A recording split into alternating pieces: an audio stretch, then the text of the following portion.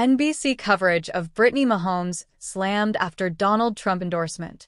NBC's coverage of Brittany Mahomes during the Kansas City Chiefs NFL opener has been slammed after she endorsed Donald Trump. NBC's coverage of Brittany Mahomes during the Kansas City Chiefs NFL opener has been slammed following her endorsement of Donald Trump. Brittany was in attendance as her husband Patrick led the Super Bowl champions to a 27-20 win over the Baltimore Ravens on Thursday, but sat noticeably separate from Taylor Swift.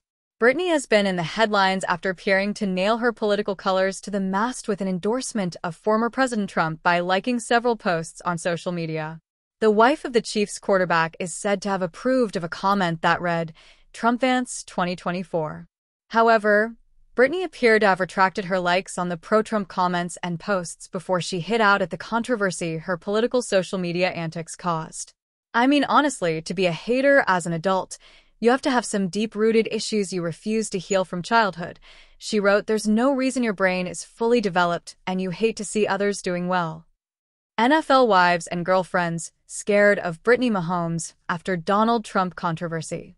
NFL fans raging at league over Taylor Swift as supporters lose patience. Sat away from Swift in the stands, who was situated in a box with Travis Kelce's family, she received no airtime. The decision not to include Brittany in the NBC broadcast received huge backlash from outspoken pundit Jason Whitlock. On his YouTube show on Friday, he said, I find it very interesting. I feel like nobody is talking about this. I tweeted midway through the third quarter. I can't believe they're not going to show her at some point. I'm sure Mike, Tirico, and Chris Collinsworth wanted no part in having to comment about why she's been in the news cycle. They made her part of the story last year. It's interesting that now she's my favorite NFL wife. She's on Team MAGA. I want to know more about her than I do Taylor Swift, but I got nothing. Alongside the video, he posted the caption, Now that she's Team MAGA, NBC is too scared to show her.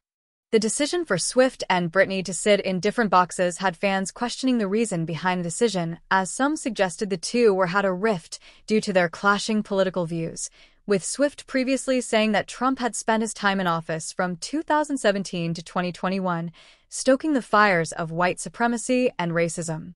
But according to the Daily Mail, they claim there is no rift between the two with the pair still close, and are said to have partied together after the game at local cocktail bar Prime Social, as Kelce hired out the entire venue for his friends and family.